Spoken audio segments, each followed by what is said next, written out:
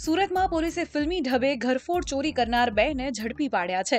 રાંદેર વિસ્તારમાં આવેલ સોસાયટીમાં મોડી રાત્રે ચોરી કરી બે આરોપી ફરાર થઈ ગયા હતા. બનાવની જાણ થતાં પોલીસ ઘટના સ્થળે પહોંચી અને તાત્કાલિક આરોપીને પકડવા કામે લાગી હતી. આ દરમિયાન ચોરી કરનાર બે આરોપી પૈકી એક આરોપીને રસ્તા પર ચાલતો જતો પોલીસે જોયો. પોલીસે તેને રોકીને પૂછપરછ કરવા જતાં જ આરોપીએ દોડ લગાવી હતી.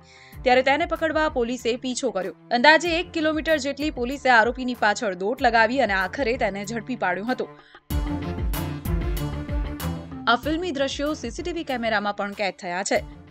ગઈકાલે આ લોકો ત્યાં આગળ એક કલાક જેવું આ લોકોએ આજુબાજુના સોસાયટીની અંદર રેકી કર્યા બાદ આ ઘર એમને એવું લાગ્યું કે અહીંયા કોઈ એકદમ લાઇટો ને એવું બંધ છે. એનો ઉપયોગ કરી રસોડાની ગ્રીલ તોડી અને અંદર પહેલાં ઘરમાં ઘૂસી ગયા હતા. ઘરમાં ઘૂસ્યા બાદ બધું જે જે વસ્તુઓ વારાફરતી એક પછી એક રૂમની અંદર એ લોકોએ તપાસ કરી જે જે એમના હાથમાં આવ્યું એ બધું આ લોકોએ લઈ લીધું.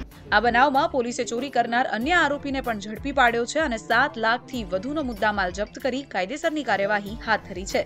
Dhruv Sompura Divya Bhaskar Surat. Share and download કરો દિવ્ય ભાસ્કર એપ